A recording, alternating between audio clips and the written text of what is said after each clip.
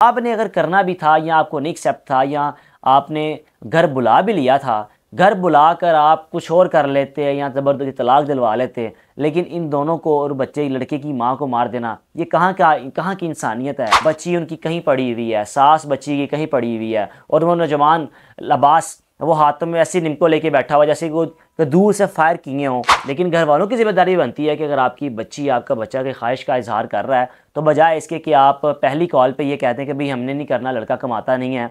कम अज़ कम बात को बढ़ाएँ, कोशिश करें। अगर तो नई बात करी लेकिन इस तरह ना करें। बिस्मिल्लाह रही मैं हूँ हारिस भट्टी। गुजरावाला में एक ऐसा अफसोसनाक वाक़ पेश आया कि जिस वाक़े ने झंझोड़ के रख दिया नया नवेला जोड़ा, पसंद की शादी की। पसंद की शादी के बाद लेकिन उनको नहीं इस चीज़ का अंदाज़ा था कि इतना, इतनी बेदर्दी से उनकी जान ली जाएगी कि किस तरह उन दोनों मियाँ बीवी को ट्रैप किया जाएगा। और ट्रैप भी किसी और ने नहीं किया, बल्कि लड़की के अपने घर वालों ने ही ट्रैप किया। और घर वालों का एतराज़ सिर्फ़ ये था लड़की के घर वालों का कि हमारी बेटी ने जिस लड़के से शादी की है, वो लड़का इतना अच्छा कमाता नहीं है। वो एक सेटल नहीं है। लेकिन लड़का और लड़की दोनों आपस में प्यार करते थे, मोहब्बत थी, चाहत थी और ख्वाहिश भी थी और ख्वाहिश को पूरा भी किया, कि शादी भी की, निकाह भी किया। लेकिन उसके बाद घर वालों के लिए तो एक इम्तिहान बन गया कि किसी तरह हमने अपना बदला चुकाना है या अपनी बेटी को उसकी सज़ा देनी है। उस बेटी ने आखिर ऐसे कदम उठाई क्यों लिया? और अगर उठाया तो कैसे अब तक हमारी बच्ची हमसे बची हुई है कि हम उसको नुकसान नहीं पहुँचा पाए? अब्बास और लाइबा इन दोनों का ताल्लुक गुजरावाला से है। चंद रोज़ कबल ये दोनों शादी करते हैं और शादी के बंधने बंधने के बाद अपनी ज़िंदगी गुजार रहे होते हैं। लेकिन लड़की जो कि घर वालों से घर वालों को नहीं मिलती थी घर वालों घर में नहीं आना जाना था घर वालों को इस चीज़ को एक चीज़ को एक नागवार गुजरती थी और अब हर वक्त किसी ना किसी तरीके से कोशिश में रहते थे कि किस तरह अपनी बच्ची को ट्रैप करें या उस लड़के को ट्रैप करें या उस लड़के के घर वालों को ट्रैप करें। कि भाई ठीक है, हम एक्सेप्ट करते हैं। बिस्मिल्लाह, आप आएँ, हम आपको, आपका वेरी वार्म वेलकम करते हैं।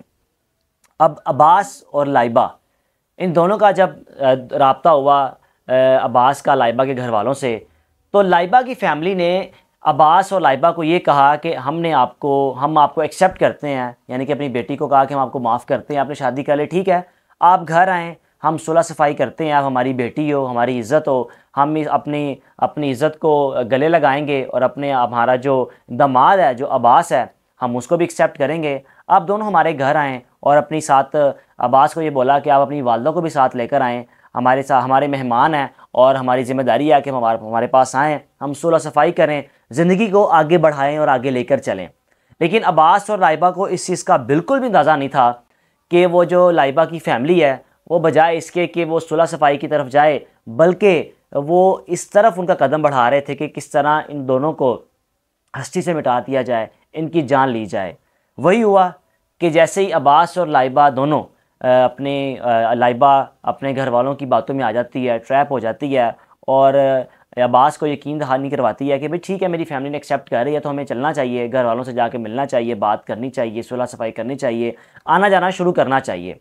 लेकिन अब्बास, लाइबा और अब्बास की वालदा, यानी कि लाइबा की सास, घर आती है और घर आने के बाद जिस तरह उन तीनों को बेदर्दी से मारा जाता है, उनकी जान ली जाती है, उसने एक सबको एक सदमे में डाल दिया है कि किस तरह कोई कैसे कोई इतना हैवान बन सकता है, किस तरह किसी में इतनी ताकत या किसी में इतनी हिम्मत पैदा हो सकती है कि घर आए मेहमान को जिसमें आपकी बेटी हो, आपका दमाद हो और आपकी बेटी की सास हो, उन तीनों को बेदर्दी से मार दिया, कत्ल कर दिया, छुरियों के वार किए। बच्ची उनकी कहीं पड़ी हुई है, सास बच्ची की कहीं पड़ी हुई है। और वो नौजवान लबास, वो हाथों में ऐसी निमको लेके बैठा हुआ जैसे वो दूर से फायर किए हों। और वैसे ही वो एक लाश उसकी पड़ी हुई है।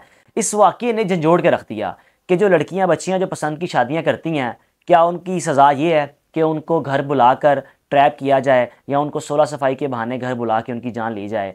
क्या उन वालदेन की या उन भाइयों की गैरत यह है कि अगर हमारी बहन या हमारी बेटी ने अगर शादी कर भी ली है तो क्या ये उसकी सज़ा है? ये उसका राइट था, ये उसका हक था। हो सकता है कि उस बच्ची ने घर वालों से बात की हो और घर वाले इसलिए रजामंद नहीं हो रहे थे कि भाई लड़का कमाता नहीं है, लड़का अच्छा नहीं कमाता, इसलिए जो हम करेंगे वही होगा। लेकिन दोनों की मोहब्बत थी और इस मोहब्बत को पूरा करते हुए उन उस लड़की ने जो उसका राइट था जो हम जिस मुआरे में रहते हैं सोसाइटी में रहते हैं, हमारा मज़हब, हमारा इस्लाम, हमारा दीन हमें इजाज़त देता है कि हाँ भी अगर हम कहीं पसंद की शादी करना चाहते हैं तो घर वालों को मनाएँ, घर वालों को लेकर साथ चलें। लेकिन घर वालों की ज़िम्मेदारी बनती है कि अगर आपकी बच्ची, आपका बच्चा की ख्वाहिश का इजहार कर रहा है तो बजाय इसके कि आप पहली कॉल पे ये कहते हैं कि भाई हमने नहीं करना, लड़का कमाता नहीं है, कम अज़ कम बात को बढ़ाएँ, कोशिश करें अगर तो नई बात करी लेकिन इस तरह ना करें कि आपकी बच्ची अगर गलत स्टेप ले रही है गलत स्टेप लेने के बाद उसको इस तरह से आप घर बुला के या आपका बच्चा अगर गलत स्टेप ले रहा है तो इस तरह घर बुला के उसको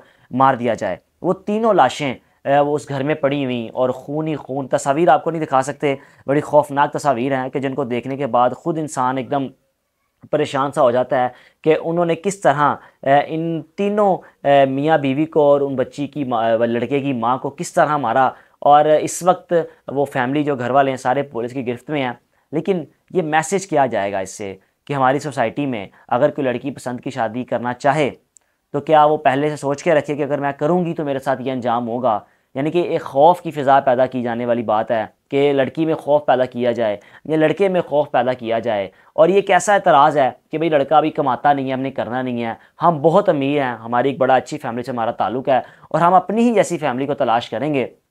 उस लड़की को अगर अब्बास मिल ही गया तो उसकी सज़ा ये नहीं बनती थी। आपने अगर करना भी था, या आपको नहीं एक्सेप्ट था, या आपने घर बुला भी लिया था, घर बुला कर आप कुछ और कर लेते हैं, या ज़बरदस्ती तलाक दिलवा लेते लेकिन इन दोनों को और बच्चे, लड़के की माँ को मार देना, ये कहाँ का, कहाँ की इंसानियत है? ये कहाँ का इंसाफ है? और किस तरह आपको किसी ने राइट दिया कि अगर कोई गलती करता भी है या उसकी गलती की, की सज़ा आप दें हमारा सोसाइटी है हमारा लॉ है हमारा कानून है आप कानून का दरवाज़ा खटखटाएँ। अगर आपको कोई मसले मसाइल हैं बजाय इसके कि आप ख़ुद जज बन जाएँ खुद ही काजी बन जाएँ ख़ुद ही अदालत लगा लें और ख़ुद ही फ़ैसले करें और ख़ुद ही उन सज़ा भी दे दें ये दरअसल एक एक ऐसा वाक़ है।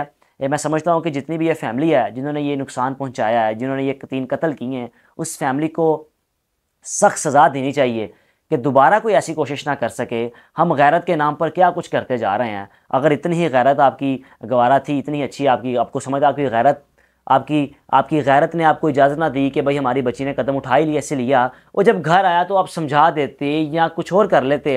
लेकिन मार देने से किस तरह की आपकी गैरत जागी कि आपने एक नहीं, दो नहीं, बल्कि तीन कत्ल किए और एक ही वक्त में, और वो भी ज़बरदस्ती नहीं, यानी कि आपने ये नहीं कि घर में घुस के मारा, बल्कि एक खुशामद करके एक प्यार मोहब्बत से, सुलह सफ़ाई के बहाने, यानी कि ट्रैप पे लाकर, गलत ट्रैप पे लाते हुए उनको घर बुलाया, और उन तीन मासूम जानों को, नया नवेला जोड़ा, उनकी तस्वीर आप देख भी रहोगे, इतना खूबसूरत है दोनों, कि इस वक्त वो हमें नहीं है, और उनको लड़की की अपनी ही फैमिली ने बेदर्दी से कत्ल कर दिया। अपने मेज़बान को इजाज़त दीजिए, अल्लाह हाफ़